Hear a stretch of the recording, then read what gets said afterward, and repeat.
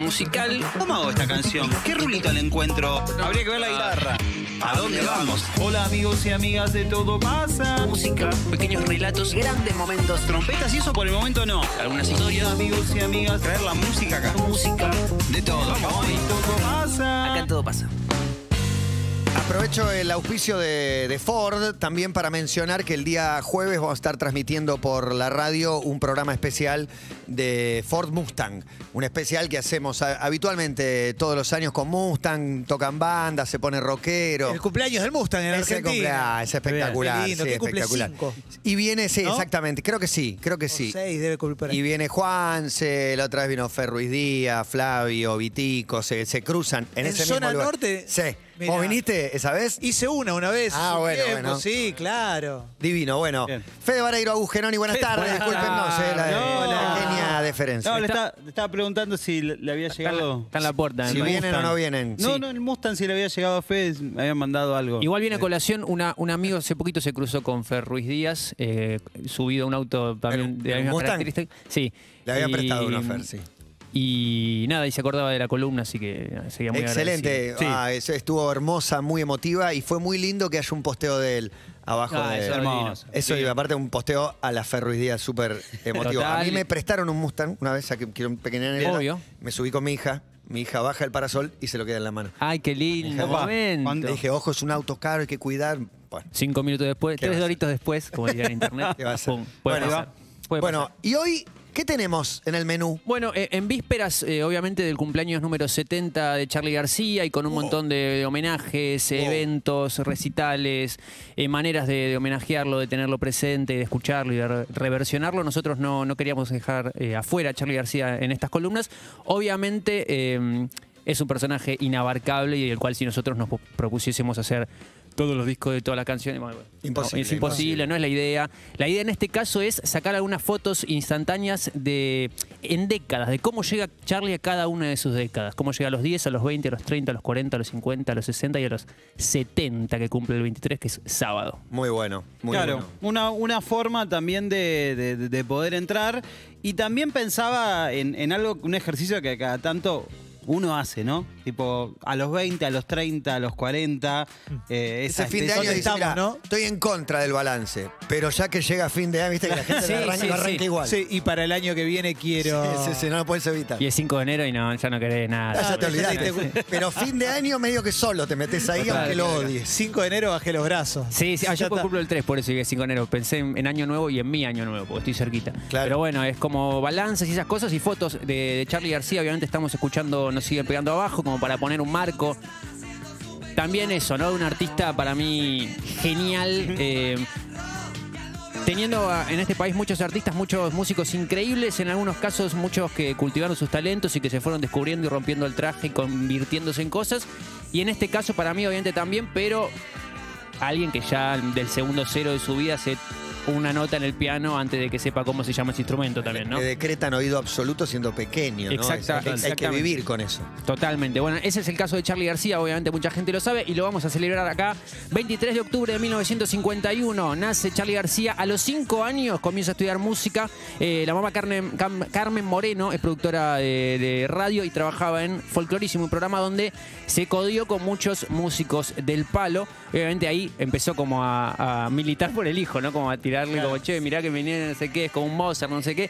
Eh, leíamos por ahí con Agus que Mercedes Sosa decía, Ese, este chico es como un Chopin, una persona también, Mercedes Sosa, que queremos hacer hincapié porque lo acompaña y es como una especie de, Claro. de ladera. En muchos momentos de su vida Mercedes está al lado de él y en su temprana edad también. Sí, la anécdota de, de El Oído Absoluto se da en ese marco, en el marco de eh, Falú tocando la guitarra, él a un costadito y, y medio como de tímido, habrá sido durante esos primeros 10 años de vida de tímido de Charlie García. Claro, claro, sí. Eh, Los únicos 10 que tuvo. Un niño. se animó a decir, eh, hay una nota que ahí que no va, que está desafinada. Tremendo, Uh, tremendo. wow. Y de hecho, eh, Falú lo escucha medio de, como la anécdota cuenta que lo escucha medio de rebote. Y pregunta, dice como, ¿qué dice el nene? Y Carmen, la madre, como que, no, maestro, lo que está diciendo el nene es que hay una cuerda que está No le des desafinada, bola, no le des pero... bola. Y él Ah, le es un dice, está nene. tocando para el No cumple. le des bola. Es un nene. Y Falú le dice, bueno, señálame cuál, le señala ahí, creo que era la cuarta. ¿eh? Sí, está desafinada. Y ahí, y ahí- Wow. y ahí Wow. empieza eh, esta leyenda del oído absoluto. En el medio también hay una cuestión con, con los padres y esta especie de, de medio leyenda sobre el vitiligo que él tiene, sobre esta, eh, digamos... El bigote eh, bicolor. El bigote Sí. bicolor y todo lo que despigmenta su piel y, y- y parte de su cuerpo. Entonces eh, dicen, bueno, ¿cómo surge el vitiligo? El vitiligo surge por un episodio nervioso que tuvo Charlie cuando era chico, cuando los padres eh, se van de viaje a Europa durante un tiempo prolongado. Todos estamos situando en estos primeros 10 años de vida. Sí. Y él está medio jugando ahí con una cajita que tenía musical del padre y, y escuchaba esto en el 2, Gonza. Escuchaba esto, ¿no? Le daba cuerda. Una cajita.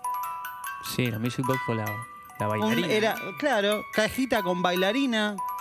Y esta que es eh, Torna a Surriento, lo escuchaba, lo escuchaba, lo escuchaba. Y cuando vuelven los padres de viaje, en el 3, Charlie ya sabía hacer algo parecido a esto.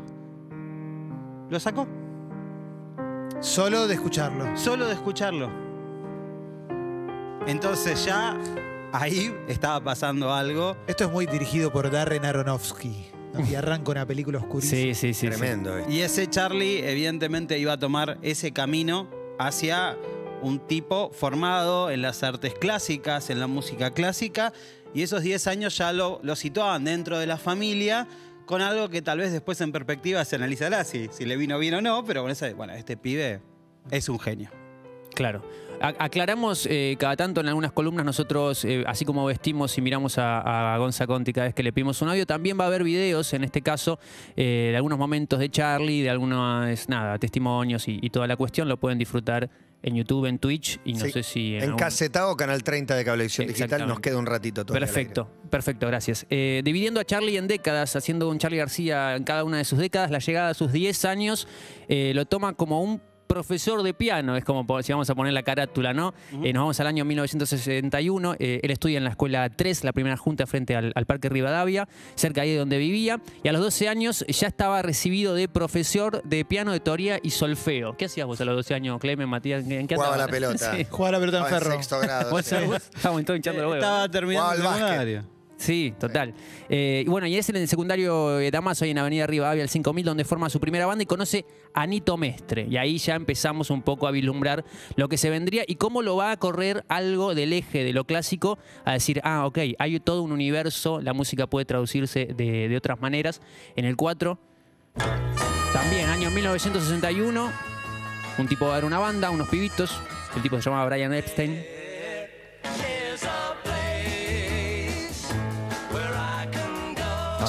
No, Charlie estaba cumpliendo 10 años y recién ahí Brian se encontraba con un grupo donde cabran y decía, che, estos pibes tocan bien. Estaría bueno hacer un vínculo, un tipo de comunicación con ellos y empezaba el vínculo con los Beatles justamente en 1961. Eh, Charlie lo que dice cuando escuché a los Beatles me volví loco, pensaba que era una música marciana, música clásica de Marte. Enseguida eh, em- comprendí el mensaje. Tocamos nuestros instrumentos, hacemos nuestras músicas y somos jóvenes. Para mí, digo, eso fue una locura, pero a la vez también muy raro. No se suponía que los jóvenes hicieran canciones y cantaran. Lo primero que escuché fue esto, There is a Place. Inventan un poco ser joven, ¿no? Los Beatles. Sí, total. Es lo que dicen, in- inventaron la juventud, inventaron la rebeldía. Me di cuenta de lo que pasaba con las cuartas y un par de cosas interesantes más ahí y ¡kaboom! Acabó mi carrera dentro de la música clásica. Muy bien. Los Beatles. Justamente ahí, en el contexto de un Charlie, todavía sin 20 años. Bien. Pero llegaron los 20 años. Y justamente Charlie ya estaba tocando con Nito. Eh, y a los 20 años, de alguna forma, habían hecho una prueba en RCA Víctor. En la discográfica RCA Víctor eh, habían hecho dos canciones, eh, Marina y Grita. Vamos a Grita, escuchemos un ratito de esto en el 5. Bitlesco. Se nota, total. Habían hecho una prueba que quedó en esto, en, un- en un disco de acetato. Muy de la época. Muy. 60s. Completamente. Esto fue en el 69, poquito antes justamente de cumplir los 20. Pero cuando cumple los 20 se va a dar medio como una especie de, de alineación de planetas. No sé si alguna vez eh, oyeron hablar de El Gordo Pierre. ¿Cómo se ríe el gordo Pierre? Exactamente, bueno, era el mismo Gordo Pierre. El tema de los Pierre, redondos. el Gordo Pierre era un- Vitricida, ¿no? Pierre el vitricida. Exactamente, un personaje que estaba dando vueltas por ahí también. Eh, Billy Bond alguna vez eh, dijo que el gordo Pierre oficiaba algo así como de dealer y que todos los días eh, agarraban, sí, bastante botón esto, y todos los días el gordo Pierre caía con una especie de distribución hasta que amenazó, medio de, de- de- de cuajo, a decir, si no le dan bola a esto, a este dúo de pibes, yo corta la boca. corto todo acá. Corto el suministro. Co- corto el vos. suministro. Corta el suministro. Claro, los pibes estos venían justamente de ser rechazados por RCA Víctor. Y bueno, ahí Billy Bond dijo: A ver, pará, vení. Sentate, pibe, a ver qué podés hacer. Ellos estaban tocando ya eh, en un teatro en el ABC, que quedaba ahí en Esmeralda, en el centro. Eh, María Rosa Llorio en su libro Asesinen me lo cuenta muy, muy lindo el panorama de- de qué era lo que pasaba. Un teatro que ya era medio un antro, no había muchas luces. Justo el día que lo va a ver y que lo conoce a Charlie por primera vez, se había cortado la luz, entonces había como velas alumbrando, una cama que era como que había quedado el decorado de alguna obra y que Charlie constantemente iba a esa cama y se tiraba, bueno, hacía un show. Eh, entonces, en ese contexto de cosas, eh, Billy Bond agarra y, y les dice, bueno, a ver, vamos a escuchar a estos pies a ver qué tenían. Y los pies sorprendieron. La verdad que dijo, che, acá Eran buenos. Me parece que hay algo, 20 años. A todo esto Charlie laburaba como inspector gastronómico. Es porque increíble. en ese Muy momento, Charlie, inspector gastronómico. No, increíble. Porque en ese momento también, vayamos al contexto del rock nacional. Ser músico de rock nacional no era sinónimo de, ah, este chabón la pegó. Claro. eh, este Ser chabón cantado por la gente no te convertía automáticamente o no te garantizaba. Ni rédito. ahí, ni ahí, y ni, ni a los que la estaban pegando en términos. Entonces, eh, él hacía otra cosa. Y con eso se ganaba unos mangos, vivía todavía en la casa de los viejos. Ma- Ma- María Rosa Llorio, este libro cuenta muy bien esa, esa especie de foto de, de Beat y Güemes, donde Muy bueno, vivía Charlie, con los padres. veintipico viviendo con los padres. Tremendo. Sí, exactamente. sí, sí. 20 años. Viajaría en el tiempo para ver esas Increíble. cosas, ¿viste? Sí. Para, para verlo a Charlie entrar una cena familiar en su casa. Ah, entrar a un restaurante, inspector gastronómico, verlo interactuar con los del restaurante también. Sí, claro. Muy bueno. A ver, el matafuego te dice. Dicen que iba, firmaba las cosas y, Y se iba. Y se iba. A los 20 justamente entra a los estudios Fonalex. Eh, ¿Ustedes conocen la canción eh, Si me vienes a buscar? Pues no la recuerdo. ¿Cuál es? Si me- No sé. Si me vienes a buscar, De vamos al de Sui Generis, esa Sui, Sui Sui Generis, Sui. Generis. Sui Generis, vamos a esa época, pero tenemos un video para aquellos que lo puedan observar. A ver. Si me vienes a buscar esa canción, ¿la conocen? En el 6. Habla Pierre. A ver, gordo. El vitricida. Canción para mi muerte realmente se llamaba Si ¿Ese me vienes a buscar. Y había otros dos títulos alternativos. Cuando fui a Sadai para hacer los títulos, porque teníamos que entregar a Edifon, que era la empresa editorial para ese disco. ¿Te dejo, gordo? Sigo, sigo, sigo. Sí, este, entonces como los títulos eran cualquiera, y había un libro enorme para elegir los títulos, yo elegí, este, porque había que entregarlo directamente y ya salía, elegí Canción para mi muerte. ¿Cómo no? Así, caprichosamente. No te puedo creer. En- ¿Entendés? No lo puedo creer. ¿Entendés que fue a el gordo. y dijo, che, eh, vengo a anotar esta canción, si me vienes a buscar. No, no, pero ya, ya está. Hemos hablado en la Buscate un columna. nombre. Buscate un Sí. nombre. Y el tipo agarró y le dijo, a ver, pará. Lo mejoró. Y- No, a ver, ¿de qué habla la canción? que se llama Canción para mi muerte. Y le puso Dado canción la para mi letra, muerte. Ah, lo mejoró y- de otro modo, No, no, Y escuchá, pará, No la puedes imaginar de otra Es manera. una marca fuego. Escuchá el inicio de es Canción esto. para mi muerte, o sea, se trata de una muerte. Hubo un tiempo. Porque claro, le sacó la metáfora a la canción. Claro. Fui ¿La entendés? de O sea, por ejemplo, nosotros, eh, Javier Asioli, un amigo, me lo ponía en términos de, eh, por ejemplo, estuvimos toda la vida pensándose, eh, pensando si Jijiji hablaba de una noche de falopa Sí. y después, 30 años después, el, el indio dijo, sí, bueno, sí. Sí, ponele que sí. Ponele que hablaba de eso. Todo bueno, lo que- acá nos ahorró esos 30 años de metáforas, de pensar, de esto, y puso canción para mi muerte y mató la metáfora. ¿Alguien sabe en dónde fue ese festival Barrock? Sí, Ah. eso fue Barrock, Pero, justamente. pero, ¿dónde, pero ¿dónde lo ¿En hicieron? obras afuera? No. Eh, Eso es lo que nunca supe. Ezeiza. No, creo, creo que mm, se me hace que fue más en. Nunca en- supe Hubo dónde fue. varios ¿eh? Barrock. Sí, pero, pero ese me parece que fue. Ese creo que fue. Me sale tipo zona sur, en algún lugar de zona sur. Eh, seguramente la audiencia ahí va, va a, Alguien nos saber va a decir. a- aportar. Por favor, sí. Pero lo que pasó fue que eh, también Jorge Álvarez, quien estaba en el, en el sello que sacó a, Charlie en vida, este primer disco que saca justamente unos meses an- un mes antes de cumplir eh, los, 20 los 21 años. eh, bueno, él, él comenta un poco que, que la idea era, sacamos el disco y los hacemos grabar al mes siguiente, eso es noviembre del 72, los hacemos grabar en Barrock. Total, esto va a ayudar para la difusión y bueno, ayudó Hermoso, bastante. ese Ayudó, video de ayudó. Charlie de Tremendo. espaldas tocando el piano también es, es muy lindo, lo pueden buscar si lo quieren disfrutar entero. En otro video, para abrir una pestaña de Charlie a sus 20, componiendo para otros, una entrevista que le hace ver a Spinetta a León Gieco en un ciclo que se llamaba En el Carrusel. León cuenta algo bastante particular, el- es el corte 8, por favor. Con el fantasma de Canterbury yo ya vivía acá en Buenos Aires. Un día yo tenía un- una canción que se llama La Rata Lali, que mencionaba al Che Guevara, y era muy problemático mencionar al Che Guevara en ese momento. Pero como a Charlie no le pasaba nunca nada, yo le ofrecí a Charlie que la grabara a él la canción. Y me dice, vos estás loco, ¿viste? Yo no voy a grabar esta canción porque vamos presos, ¿viste? A las 6 de la mañana escucho un ring del teléfono, me levanto. Ir a Charlie. Mirá, este, vos me dices esa canción, yo no voy a cantar, pero yo te compuse una canción para vos. Y era el fantasma de Canterbury. Yo era un hombre bueno, si hay alguien bueno en este lugar. Por eso el tercer disco mío se llama El fantasma de Canterbury. Porque me enseñó no solamente a cantar mis canciones, sino me enseñó a interpretar otras canciones. Qué animal, qué buena historia. ¿eh? Increíble. Me decías, Agus, que el, eh, Sí. vuelve- En el carrusel está vol- volvió con una nueva temporada, hace poco lo Excelente. vi con, con Carca.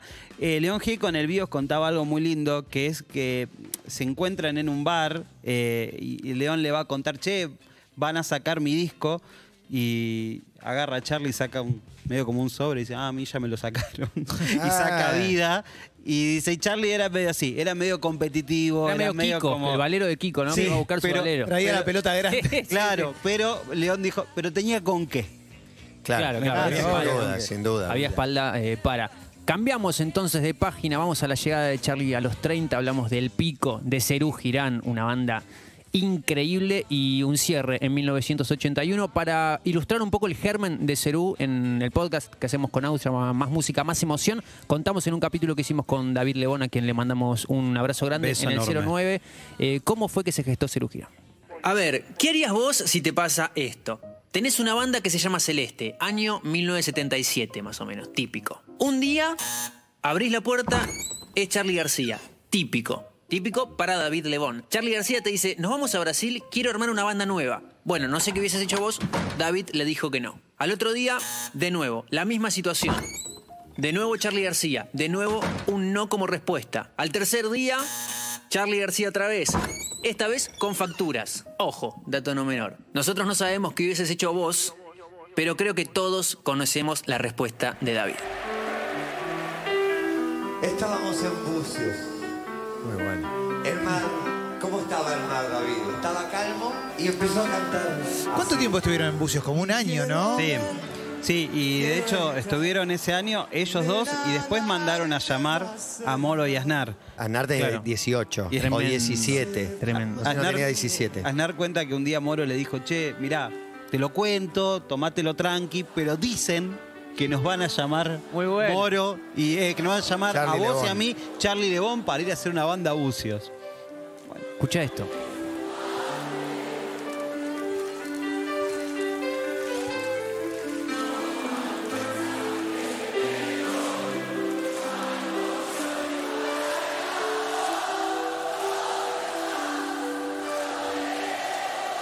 Piel de gallina. Tremendo.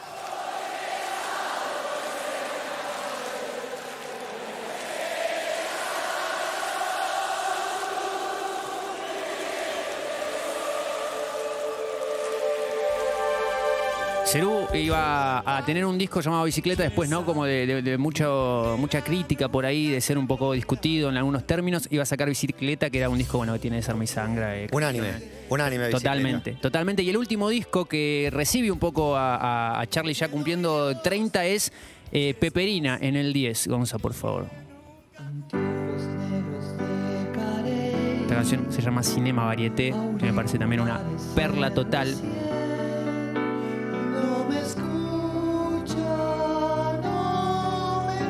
Que no la vuelvo a escuchar desde que tenía 12 años y me la acuerdo. En mi casa sonaba por mis hermanos ¿Sí? mayores. Queda para siempre igual. Bicicleta, peperina, grasa de las capitales.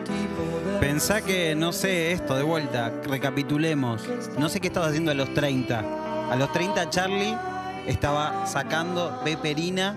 Impresionante. El otro día transmitimos desde Expo Cannabis Sí. y yo decía, acá vi a Cerú Girán. Y después llegó mi hermano y me recordó exacta la anécdota. Me dijo, sí, fue año 81, 82, en Música. La Rural. Música prohibida para ese. El Sí. show de La Rural, yo fui con 10 años, ponele, Wow. caminando porque vivía a cuatro cuadras. Bueno, fue Tremendo. récord para, para ese momento. Increíble. 70 mil personas. 70 Sí, lucas. 70 lucas más o menos. Me acuerdo un chabón subido al mástil con el pullover prendido fuego. Esa imagen y Wow. tocando y que fui caminando y volví caminando. Tremendo. Increíble.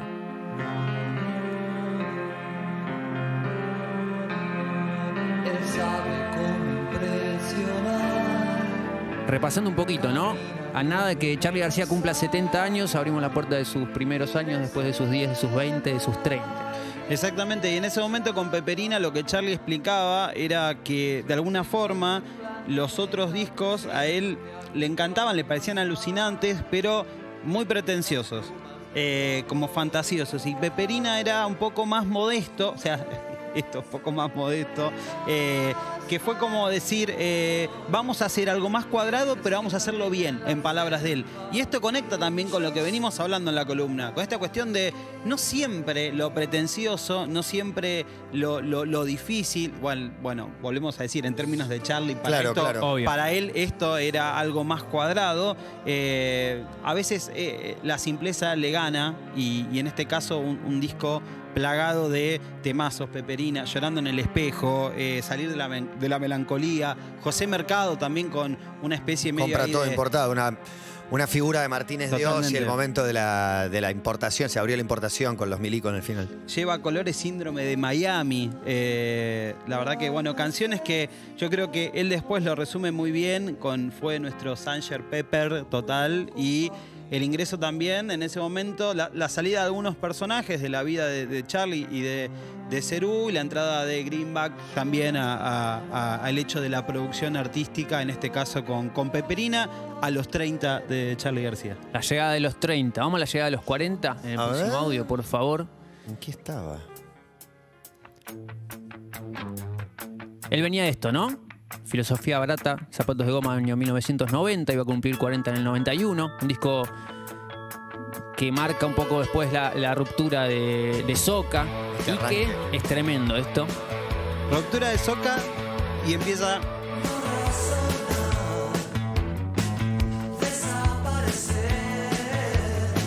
Charlie García que empezaba a asomar a sus 40 años y, y con un montón de cosas en el bolsillo. ¿Qué tenía en el bolsillo Charlie cuando estaba llegando a los 40? Bueno, una trilogía de discos increíble que es imposible desmenuzar en una columna, pero todos conocemos yendo de la cama al living en el 82 a sus 31, clics modernos a sus 32, piano bar con una trilo- eh, trilogía fuerte de canciones inapelables, indiscutibles, que, que todos conocemos, que todos festejamos.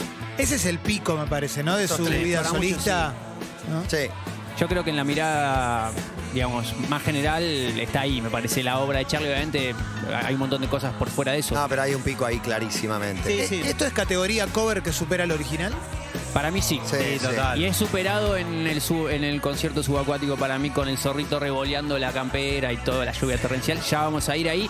Después de esos tres discos iba a haber como una búsqueda diferente con otra trilogía de parte de la religión, cómo conseguir chicas y este disco, Filosofía Barata y Zapatos de Goma. Previo a eso, un disco llamado Tango a sus 35 en 1986. Un proyecto junto a Pedro Aznar que se iba a repetir y en el audio siguiente, en el 91, Charlie cumple 40 y con Pedro Aznar hace esto que...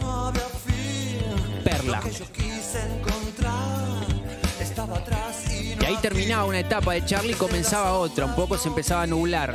Sí, eh, justamente el año 91, a sus 40 años iba a estar marcado por esto, por Tango 4 y también por la primera internación de Charlie, eh, que de alguna forma eh, iba a generar como un quilombo importante.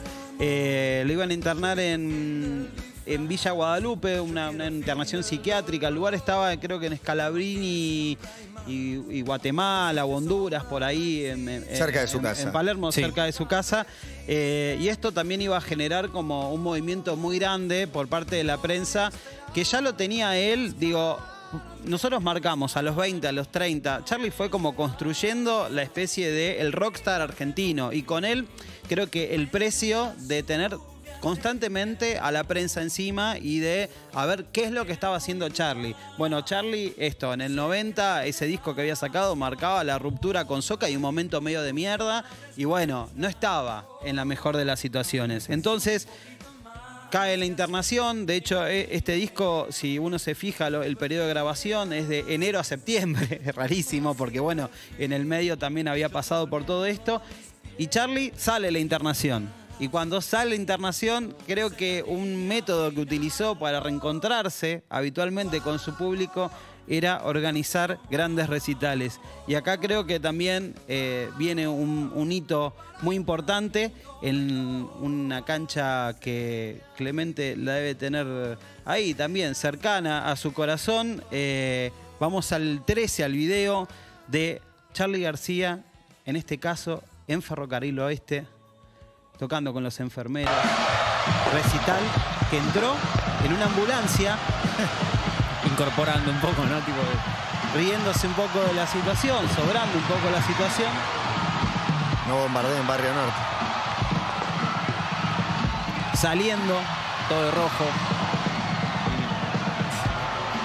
Y con su banda, los enfermeros, que en ese momento, bueno, estaba Isla, estaba Negro López, estaba el Zorrito, estaba Zamalea, estaba Fernando Lupano. Y esto de cerca la revolución, Charlie García, 1991, Ferrocarril Oeste, después de aquella primera internación, 40 años de Charlie García.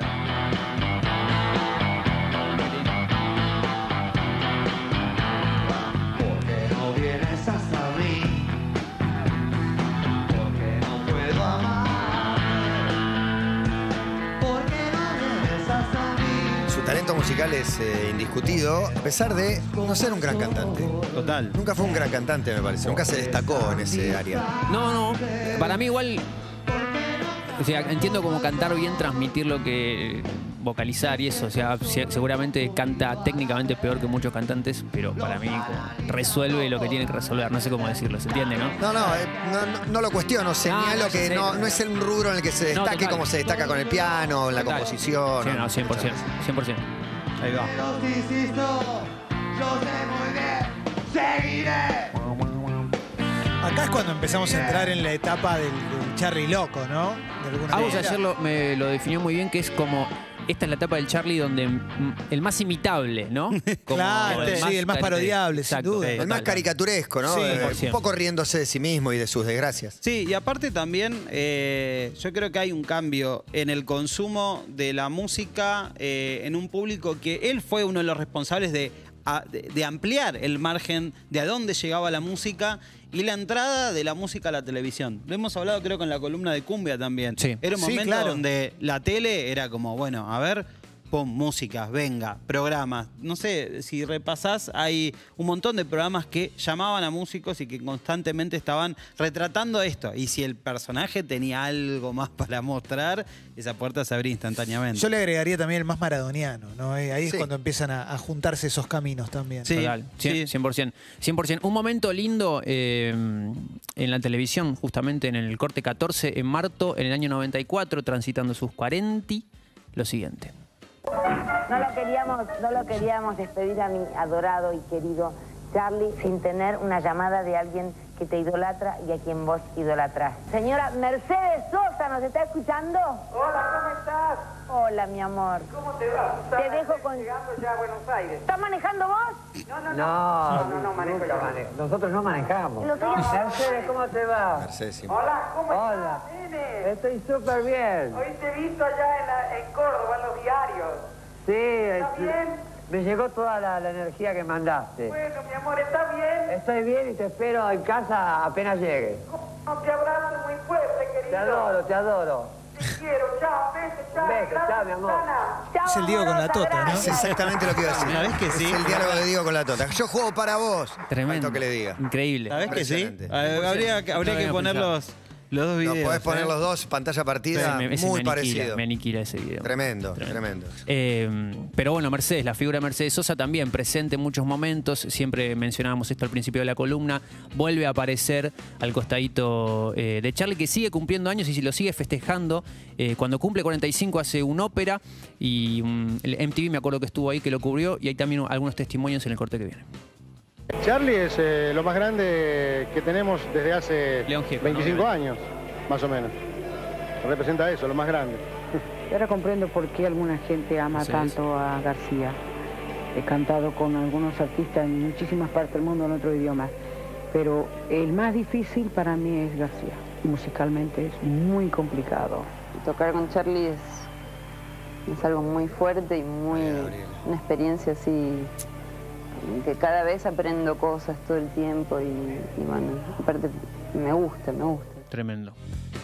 Tremendo. Hermosa. Me, me hace acordar Juan Ferrari que salió Mercedes Sosa en, en Basta eh, Wow. y, se, y se puso a llorar porque Charlie estaba mal y no lo dejaban, no la dejaban verlo eh, en una nota que hicimos telefónica. Más increíble. ¿Qué habrá sido? Tremendo. ¿2007, 2006? Debe ser, ¿no? Debe ser aproximadamente, sí, Hermosa. 2007, no sé exactamente, pero es verdad. Sí, estábamos en San Isidro, transmitiendo de ahí 2007. creo que es. 2007 entonces. Sí, como que tam- también nuestro interés era traerla a Mercedes en, en esa vía, en la, en la vía de alguien que, que acompañó eh, en todas las décadas, en cada cambio de década, eh, Mercedes estuvo, ahí y, y es mucho lo que dijo y lo que dijo María Gabriela, de- es el más complicado para resolver musicalmente, como que sale como el Diego, como Orteguita, como esos que no sabes para dónde va Claro. a salir y qué iba a inventar en el momento. Página, página aparte para, Sí, para. María Gabriela. Definitivamente, eh, antes de, de Una fin de año. mujer en ese momento. Antes de fin de año estaría re bueno a- hacer algo con María Gabriela porque y una no, no solamente eso, sino una persona que tuvo un lugar que creo que no tuvo nadie eh, dentro de las bandas de García, directamente, eh, una Y apreciación. más como instrumentista, porque Rosario Ortega ahora o diferentes, Fabiana, Hilda, etcétera. Sí, sí. Pero eh, instrumentista, impresionante. Y vamos a justamente a esa época, a la llegada de los 50, eh, a Charlie García eh, lo iba a festejar en el Teatro Coliseo, en un recital que se recuerda mucho porque eh, había estado muy bien y creo que acá, en esa entrada de los 50, se produce el mejor disco de la etapa Sign No More, también para mi apreciación. En el 16 suena I'm Not In Love. ¿Etapa Cobain de Charlie? De esa etapa Cobain me quedo definitivamente con esto. María Gabriela también acompañando a Charlie en el marco de Charlie venía en el 2000 de sacar eh, Sinfonía para Adolescentes con esa especie de, de vuelta con Sui Generis. Y dentro de esta etapa de Sign No More, que era, bueno, Sign No More, El Aguante, Rock and Roll Show en el 2002, eh, eh, do- en el 2003, en el 2002 iba a aparecer este disco que tenía esta canción. Estoy andando por las vías del tren, haciendo cosas que no quiero hacer. Esto tiene una explicación. I Not In Love es la canción y el disco iba a ser nada más y nada menos que en el 17 abrimos para Influencia. El video. Puedo ver y decir, puedo ver y decir y sentir, algo ha cambiado. 50 años para Charlie, entonces ya 50 y un ratito. En el 2002 sacaba Influencia. Hacemos entonces un breve repaso para terminar. Tenemos a un niño Charlie siendo casi profesor de música a los 10. A los 20, el tipo sacando su primer disco con Sui Generis Vida. Sí.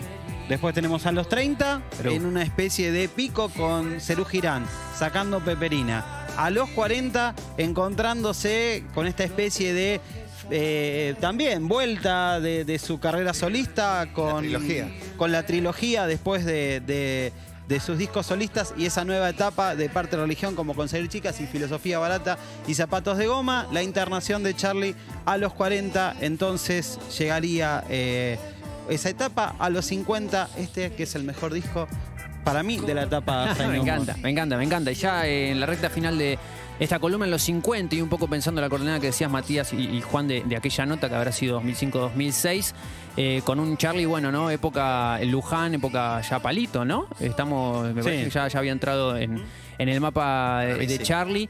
Eh, y posterior a eso, el último dueto cerrando ese, capítulo de, la comunión con Mercedes Sosa, un disco que se llama Cantora.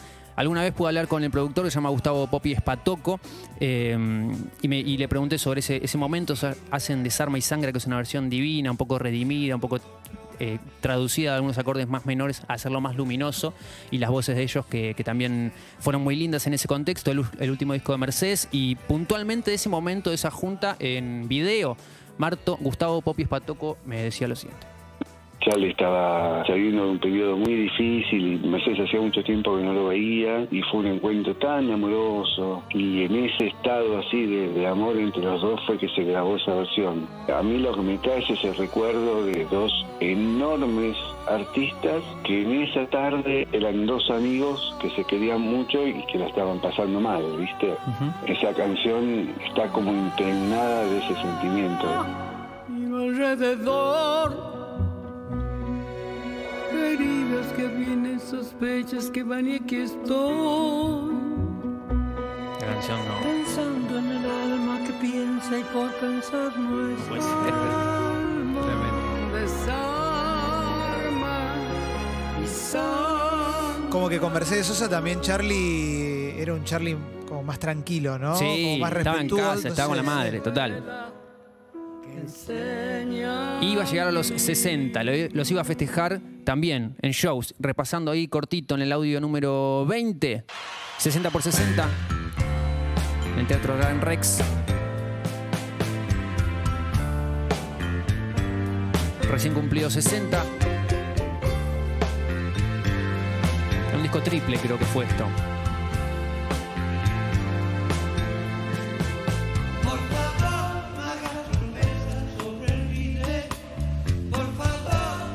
60 por 60 creo que fue de alguna forma la forma, la forma, la redundancia, de, de Charlie de decir, bueno, eh, estuve muy cerca de quedarla, eh, necesito, bueno, había, ya había pasado eh, el recital de Spinetta, de Bandas Eternas, repasando todo, y creo que de alguna forma 60 por 60 también fue esta cuestión de decir, che, voy a repasar toda mi carrera, voy a tocar todos mis, mis éxitos, mis hits, y voy a sacar un disco triple con eso. Y, retrató de esta manera, con una banda nueva, ya con Rosarito bancando ahí los coros. En el 2017 entraría su etapa, también sacaría un nuevo disco, Random, eh, un disco que lo había hecho con un, con un iPad, según cuenta envío, eh, envíos de, en, en su retrato para National Geographic, eh, había hecho gran parte con, con un iPad y jugando también con las nuevas tecnologías. Y llegando a los 70, para ir cerrando la columna, podemos decir que Charlie estuvo eh, dando como estas especies de shows relámpagos, de decir, bueno, toco en dos días, toco en tres días, toco ahora, toco So- mañana. sold out en 40 Eh, segundos, ¿viste? Todas esas cosas que hizo hace poco. Hizo el regreso al Gran Rex en, en el- en diciembre de 2019 con esa especie medio de hábito de cerrar el año tocando. Y hace poco eh, grabó con Roberto Petinato eh, en una especie de disco homenaje que es Petinato Plays García. Eh, y de alguna forma creo que encontramos un Charlie haciendo lo que más nos gusta ver de él, que es esto, tocando. Y en el 21, por ejemplo, en el disco ese se mandó este solito de piano. Cantando. Esto es de este año. What matter if they say I play the fool? Me gusta escucharlo en este registro también, ¿eh? Re. Y esto es Charlie. Tocando. Dice Petinato que cuando lo invita, debe decir, bueno, no va a venir. No va a venir. Cayó. Sí, voy, obvio. Tuvo cuatro horas. Cayó, pero Petinato no estaba. Cuatro horas estuvo en el estudio le dijo, che, ¿puedo hacer algún retoquecito? No creo que le haya dicho en esos términos, pero le preguntó si podía hacer algún retoque. Le dijo, claro, si son tus canciones, ¿cómo lo vas a poder hacer? Y bueno, y empezó a hacer eh, algunos arreglos, unas cuartas, unas cositas por todos lados. eh, y algo que iba a ser la participación en, en un tema terminó, bueno, extendiéndose. Sí, era muy eh, posible que no vaya, Sí. algo que habías preparado especialmente, y era muy posible que si vaya se quede ocho horas tocando. Terminó, eh, y, y pasó eso, terminó participando en 7 de los 11 temas eh, y poniendo la voz a 3. Entonces fue algo muy lindo y aparte la reflexión de Petinato de decir, no puede ser que una persona pueda tocar así solamente con tres dedos en la mano derecha. Y tocando esto. Charlie a los 70. Hermoso. Lo último que, que un poco queríamos dejarlo para este lugar es un testimonio de él. Fuimos a buscar alguno, hay un montón, obviamente. YouTube está plagado de material y cada uno, eh, incluso después de esta columna seguramente quede cebado y, y vaya a buscar muchas cosas. Pero queríamos retratar esto. Esto es de la vuelta de Cerú Girán en el 92, en una nota que hace Antonio Viravent y Charlie García para cerrar la columna la cierra él de esta manera. Charlie, ponete por un momento, imagínate en el escenario de Córdoba, de Buenos Aires, estás por empezar a tocar el primer tema de Cerú. ¿Qué vas a pensar? ¿De qué te vas a acordar? Me voy a acordar de, de cuando era feliz. Ah, ¿En serio? Me voy a acordar de los ángeles que me protegen contra los demonios que tratan de, de participar de la nada, que como esa película, la historia sin fin, la nada es una cosa que alimentamos quizá nosotros mismos al desinteresarnos de las cosas que importan. Entregarse, no sé, a un Dios, no ese Dios barbudo y estúpido que nos hacen creer, sino a, a esa cosa que te hace vivir. Buenísimo. Super lúcido. Tremendo. Hermoso. Año 92 y en un momento también complicado, porque esa vuelta de Cerú fue ardua, fue ardua también. Pero bueno, queríamos recordar, eh, tratar de abarcar a Charlie de esta forma, en una especie de saltos a través de, de sus décadas, eh, con dándole, bueno, nuestro matiz, nuestra búsqueda, y estamos muy contentos por, por cómo quedó. Espero la disfrutaron. Divino, divino, sí. chicos. Buenísimo, buenísimo el viaje. Bueno, entonces nos, vamos con un momento también muy lindo. A ver, Eh, a también ver. en su cumple. También un 20, eh, un 23 de octubre de 2009. El recital El Marco Perfecto, lluvia, hermosa. De repente la canción estaba por entrar, pero antes Charlie saludaba a la gente y festejaba su cumpleaños. Espero que lo disfruten. Charlie, feliz cumpleaños en unos días. Gracias por todo. El 23. Creo traducir eso como que lo cumpla feliz. Así sigo limitándolo. Bueno, un año menos. Así igual. En el programa de Lalo. Muchos creían que era Charlie.